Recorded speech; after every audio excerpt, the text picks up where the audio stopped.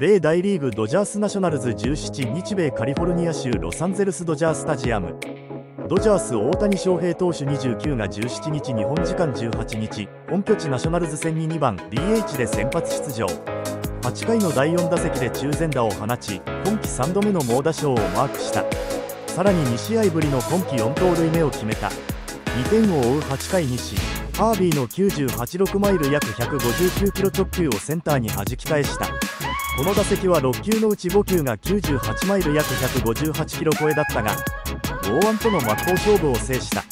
初回1試の第1打席は初対戦の右腕アービンから右前安打で4試合連続安打をマーク。17試合連続出塁とした。3回1試の第2打席はサヒ。6回先頭の第3打席は最後は右手1本で低めのカーブを拾い右前安打で2試合連続マルチ安打となっていた。米国国歌などのピアノ生演奏のため x ジャパンの YOSHIKI が当地を初訪問した16日同17日の同戦では5打数2安打で4試合ぶりのマルチ安打16試合連続出塁とした一方2打席4打席目はいずれも得点圏で初球凡退。同打率は19打数1安打の5分3厘まで低下した。ロバーツ監督はこの日の試合前彼はアグレッシブな打者だが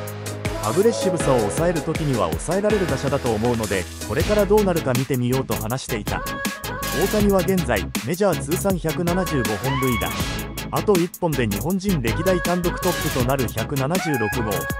松井秀喜氏ヤンキースなどを超える歴史的な一発になる。